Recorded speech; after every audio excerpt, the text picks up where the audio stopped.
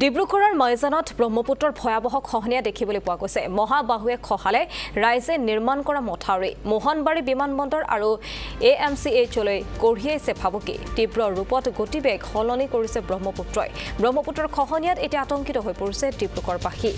আৰু দেখিবলৈ পোৱা গৈছে এক ভয়াৱহ পৰিস্থিতিৰ সৃষ্টি হৈছে আৰু ৰাইজে নিৰ্মাণ কৰা মথাউৰি খহাই লৈ গৈছে ব্ৰহ্মপুত্ৰৰ সোঁতে আমি সেই দৃশ্যাংশ দেখুৱাইছোঁ ডিব্ৰুগড়ৰ মাইচানত ব্ৰহ্মপুত্ৰৰ ভয়াৱহ খহনীয়া দেখিবলৈ পোৱা গৈছে।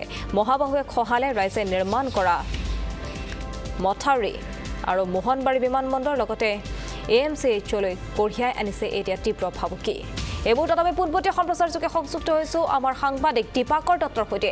দীপাকৰ আপোনাৰ ওচৰলৈ গৈছোঁ দেখিবলৈ পোৱা গৈছে মহাবাহুৱে পুনৰ কালৰূপ ধাৰণ কৰিছে।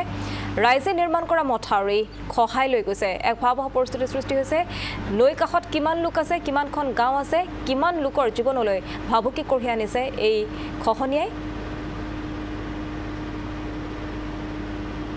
হয় নিশ্চয়কৈ পৰি এটা কথাই ক'ব লাগিব। আমি ডিব্ৰুগড় মাইজানৰ প্ৰথম বাতৰি আমি যি স্থানত বাতৰি পৰিৱেশন কৰিছিলোঁ আৰু সেই থান ঠাই সেই মাথাউৰিডোখৰ এতিয়া বৰ্তমান নাই। মহাবাহুৰ ব্ৰহ্মপুত্ৰৰ বুকুত বিলীন হৈ গ'ল। তাৰ পিছতেই জল জল জল বিভাগৰ ফালৰ পৰা যিসকল ব্যক্তিয়ে দিনে নিশাই সোমবাৰৰ পৰা তেওঁলোকে অহৰহ চেষ্টা কৰিছিল। কিন্তু যোৱাকালি আমি বাতৰি ইয়াত পৰিৱেশন কৰিছিলোঁ স্থানীয় দুখন চাহ বাগিচা সেই চাহ বাগিচা বন্ধ কৰি ৰাইজ স্বতঃস্ফূৰ্তভাৱে ওলাই আহিছিল আৰু ৰাইজে শ্ৰম কৰা যিটো মাথাউৰি যিটো স্থানান্তৰ কৰা হৈছিলে এই স্থানান্তৰ কৰাৰ সেই মাথাউৰিটো একাংশ একাংশ ঠাই ইয়াতে মহাবাহৰ বুকুত বিলীন হৈ গ'ল আৰু তীব্ৰ ৰূপত কালৰূপ ধাৰণ কৰিছে মহাবাহু ব্ৰহ্মপুত্ৰই। আমি ইয়াৰ পৰিৱেশ মোৰ সতীৰ্থ ৰাহুল মণ্ডলৰ যোগেদি আমি দেখা বিচাৰিছোঁ। ৰাইজ আতংকিত হৈ পৰিছে। বিশেষকৈ এটা কথা ক'বলৈ যিটো পূৰ্বৰ পুৰণা মাথাউৰি আছিল সেই মাথাউৰিটো এতিয়া মহাবাহুৰ বকুত বিলীন হ'ল আৰু কালি যোৱাকালি যিটো মাথাউৰি ৰাইজে আহি কেনে নিৰ্মাণ কৰিছিলে এতিয়া নিৰ্মাণ কৰাৰ যিটো মাথাউৰি আছে সেই মাথাউৰিটো এটা ছাইড ইতিমধ্যে মহাবাহুৰ বুকুত বিলীন হৈছে আৰু মহাবাহুৰ এতিয়া যিটো গতিবেগ যিটো মহাবাহুৰ যিটো গতিবেগ সম্পূৰ্ণ সলনি হৈছে আৰু ইয়াৰ এই ঠাইডোখৰ যদি কেনেবাকৈ ছিগি যাবলগীয়া হয় তেতিয়াহ'লে অশনি সংকেত আহিব। ঐতিহ্যমণ্ডিত যিখন ডিব্ৰুগড় চহৰ ডিব্ৰুগড় অসম চিকিৎসা মহাবিদ্যালয় আৰু লগতে ডিব্ৰুগড় বিমানবন্দৰ ডিব্ৰুগড় আদালত ডিব্ৰুগড় কাৰা যি কাৰাবাস আছে সেই কাৰাবাসলৈ ভাবুকি আহি পাৰে। মই স্থানীয় ব্যক্তি আছে মই তেওঁৰ কাষলৈ যাব বিচাৰিছোঁ। আপোনাৰ ওচৰলৈ আহিছোঁ যিহেতু সোমবাৰৰ পৰা অহৰহ খহনীয়া হৈছে। সঁচাই ক'ব? লাগিব আজি এই গৰাখহনীয়া সমস্যাটো এই সমস্যাটো অকল মাইজানবাসীৰ কাৰণে নহয় এই সমস্যাটো সমগ্ৰ ডিব্ৰুগড়বাসীৰ ৰাইজৰ কাৰণে এই সমস্যাটো এটা ডাঙৰ সমস্যা। কাৰণ এই আমাৰ ডিব্ৰুগড়তে ঐতিহ্যমণ্ডিত ডিব্ৰুগড় আৰু এই ডিব্ৰুগড়তে আমাৰ মোহনবাৰী এয়াৰপৰ্ট আছে আমাৰ ৰেলৱে ষ্টেচন আছে আমাৰ আছাম মেডিকেল কলেজ আছে। কিন্তু এই এই সমস্যাটো এই সমস্যাটো যদি এই গৰাখহনীয়াই যদি এটা ভয়াৱহ যদি ৰূপ লয় নহয় সেই গোটেইখিনি আমি শেষ হৈ যোৱা কিন্তু আমাৰ চকুৱে আমি চাই চাই আমি সেই গোটেইখিনি শেষ হৈ যোৱাৰ আমি হয়তো পৰিলক্ষিত হ'ব পাৰোঁ। গতিকে এই সমস্যাটো বৰ্তমান সমস্যা অকল মাইজানবাসীৰ কাৰণে সমস্যা নহয় এই সমস্যাটো সমগ্ৰ অসমবাসীৰ কাৰণে সমস্যা গতিকে এই সমস্যাটো ৰোধ কৰিবৰ কাৰণে গৰাখনে ৰোধ কৰিবৰ কাৰণে অসম চৰকাৰ আৰু কেন্দ্ৰীয় চৰকাৰে এই সমস্যাটো এটা ৰাষ্ট্ৰীয় ৰাষ্ট্ৰীয় সমস্যা হিচাপে লৈ মেলি তেখেতসকলে হাজাৰ হাজাৰ কোটি টকা আবণ্টন কৰি এই গৰাখনে ৰোধ কৰিবৰ কাৰণে তেখেতসকলে এটা এটা মানে বহুত ডাঙৰ পুঁজি এটা আনিবৰ কাৰণে আমি তেখেতসকলক অনুৰোধ জনাইছোঁ।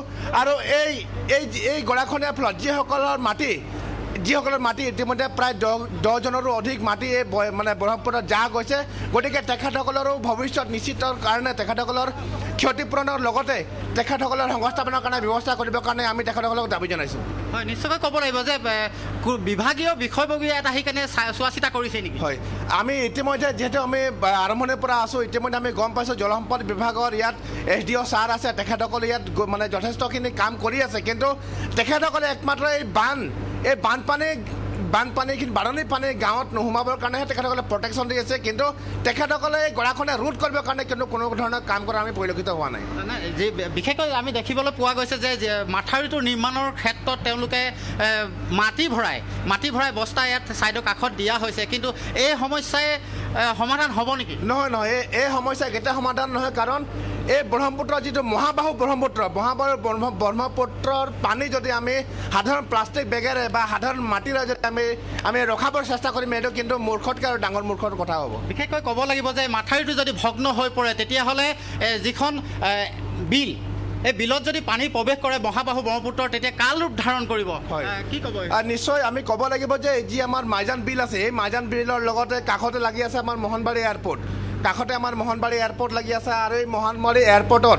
আপ আপোনালোকে দেখিছে নিজে দেখিছে এই মোহনবাৰীৰ লগতে আমাৰ ডিব্ৰুগড় গোটেই সমগ্ৰ ডিব্ৰুগড় যাহ যাহ যাব মানে এই ব্ৰহ্মপুত্ৰ নৈত। গতিকে এই সমস্যাটো এই সমস্যাটোৰ ফলত আমাৰ আমাৰ অসম চাহ কোম্পানী লিমিটেডৰ সম মানে হ'ব পাৰে নব্বৈ শতাংশমান চাহ গছ এই ব্ৰহ্মপুত্ৰত জাহ যাব পাৰে। গতিকে এই সমস্যাটো অনতিপলমে সমাধান কৰিবৰ কাৰণে আমি অসম চৰকাৰ কেন্দ্ৰীয় চৰকাৰসকলক আমি দাবী জনাইছোঁ। হয় নিশ্চয়কৈ পৰি এটা ক'ব লাগিব আমি অহৰহ বাতৰি পৰিৱেশন কৰিছোঁ। এই ঠাইৰ পৰা আমি প্ৰথম যিটো বাতৰি মাথাউৰি ভগ্ন অৱস্থাত যিটো আছিলে সেই সময়ত আমি পৰা আমি বাতৰি পৰিৱেশন কৰিছোঁ। কিন্তু চেষ্টা কৰাৰ ফলতো কিন্তু এতিয়া বিফল হৈ পৰিছে।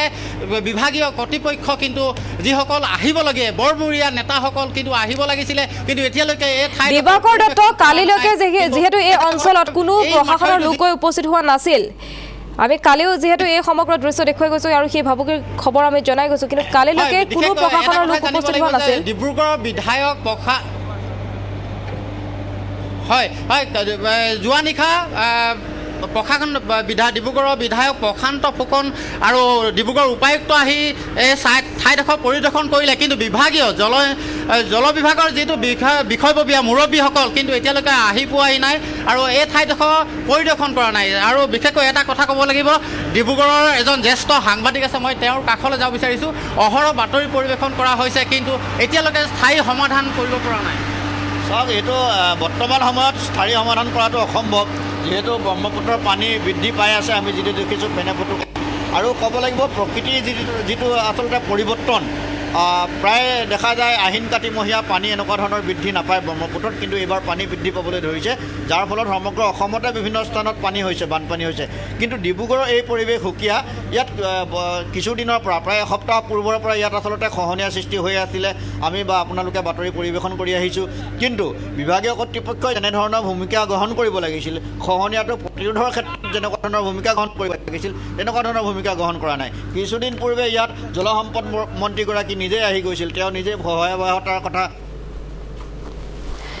হয় দিবাকৰ দত্ত এই মুহূৰ্তত আপোনাক ধন্যবাদ জনাইছোঁ। আৰু সেয়া আমাক দেখুৱালে সেই স্থানৰ পৰা আমাক দেখুৱাইছে। আৰু এক ভয়াৱহ পৰিস্থিতিৰ সৃষ্টি হৈছে। ৰাইজে নিৰ্মাণ কৰা মথাউৰি সহায় লৈ গৈছে এতিয়া ব্ৰহ্মপুত্ৰৰ কোবাল সোঁতে। এক ভয়াৱহ পৰিস্থিতিৰ সৃষ্টি হৈছে। সমান্তৰালকৈ দাঁতি কাষৰীয়া যিসমূহ অঞ্চল আছে গাঁওবাসী আছে সেই লোকসকল যথেষ্ট চিন্তিত হৈ পৰা পৰিলক্ষিত হৈছে।